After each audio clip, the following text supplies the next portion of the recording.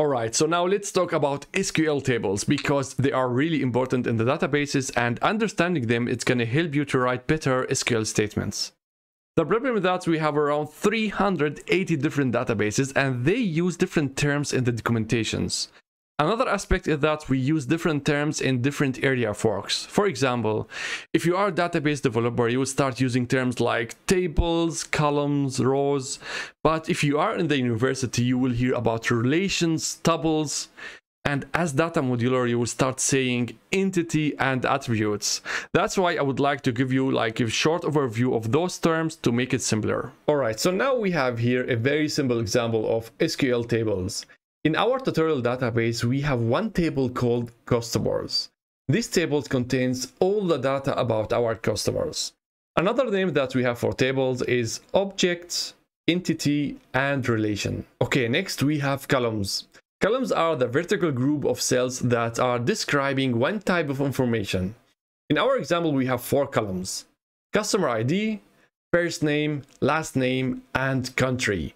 Each column has two informations the column name, for example, here we have the first name and the values inside it, like Maria, John, and so on. Alright, so next we have rows. Rows are the horizontal group of cells that are describing one individual topic and they are related to each other as well. So for example, here we have the customer ID 2 belongs to John and John lives in the USA. In this table we have five rows.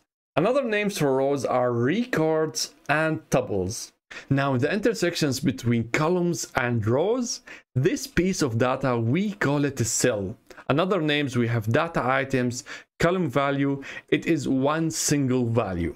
Another example is number 4 or Germany or George and so on. The last component we have is the primary key. The primary key is a column or set of columns that can uniquely identify each row in the table and they could be used as a link within other tables. In our example, we have the customer ID and this is our primary key. You can see it has unique value for each customer. Another name for it called key fields.